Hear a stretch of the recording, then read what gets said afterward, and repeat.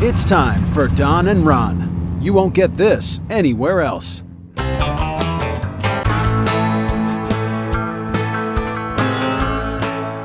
morning, folks. Uh, welcome to an on the road edition of Don. And Ron.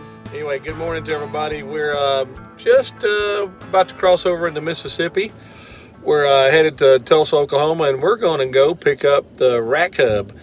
And we're going to go see a good friends of ours out there. Um, the guy that owns the Rat Cub, Greg Simmons, and uh, son uh, Cameron and Connor.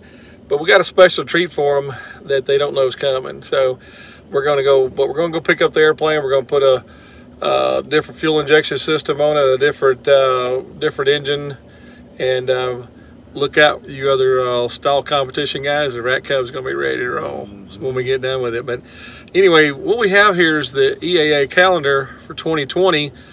Um, and the Rat Cub was featured as a December photo. So kind of zoom in right here and you kind of see the old Rat Cub right yeah. there.